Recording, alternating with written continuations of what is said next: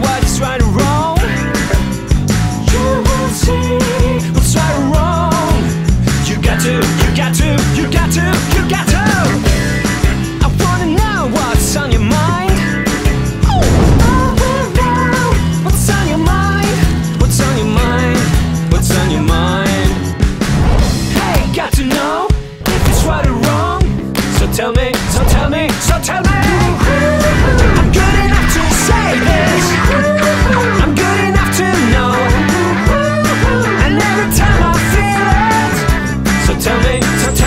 shall tell you.